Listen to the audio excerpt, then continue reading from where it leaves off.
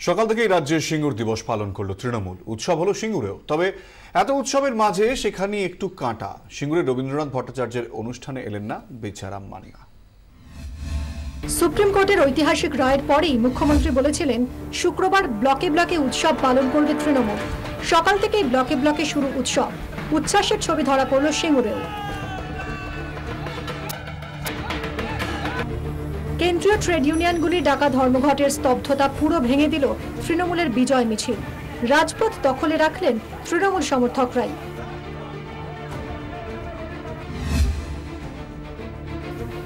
সিঙ্গুরে উৎসব মঞ্চে ছিলেন মুকুল রায়, দোলা সেনরা।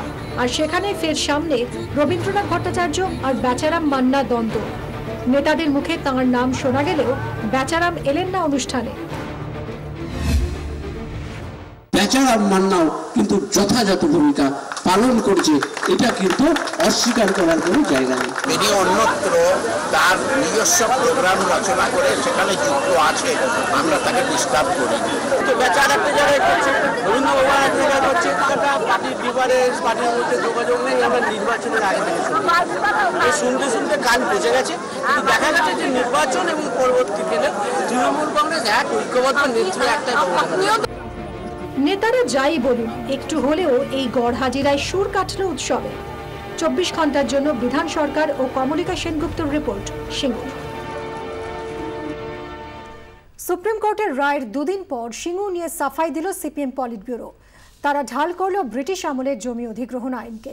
সিপিএম এর দাবি, সেই সময় অধিগ্রহণের অন্য আইনি রাস্তা ছিল না, আর ওই আইনে কৃষকদের স্বার্থ যথেষ্ট সুরক্ষিতও ছিল না। দু সালে সপ্তমবারের জন্য ক্ষমতায় এসে রাজ্যে শিল্প করতে চেয়েছিল বামেরা। সিঙ্গুরে টাটাদের গাড়ি কারখানার জন্য জমি দেওয়ার কথা ঘোষণা করেন বুদ্ধদেব ভট্টাচার্য।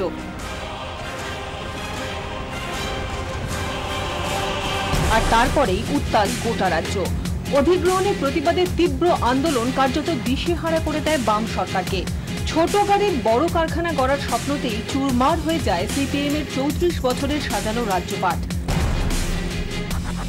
বুধবার দশ বছর পর দেশের শীর্ষ আদালত রায় দিয়েছে বাম আমলে জমি অধিগ্রহণ ছিল বেআইনি। রায়ের দুদিন পর বিবৃতি দিল সিপিএম পলিট ব্যুরো।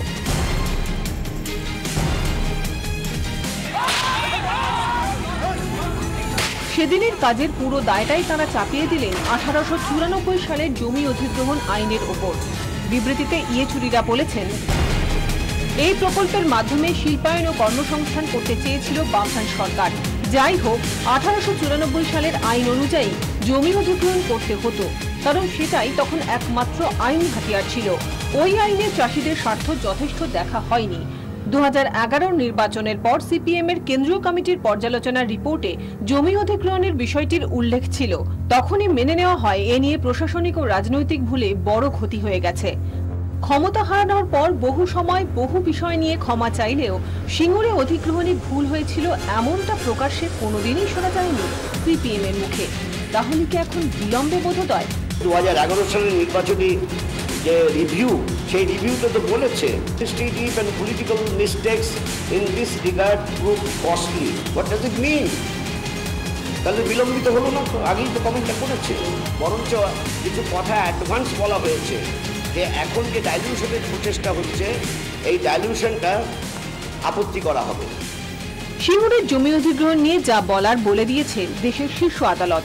এখন আইনের কাঁধে দোষ চাপিয়েও কি আদৌ হারানো জমি ফিরে পাবে সিপিএম? ব্যুরো রিপোর্ট, চব্বিশ ঘণ্টা।